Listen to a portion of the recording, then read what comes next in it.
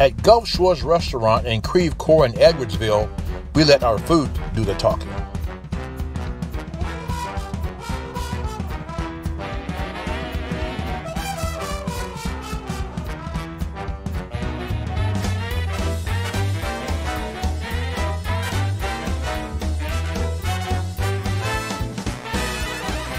Gulf Shores Restaurant, where no one goes away hungry.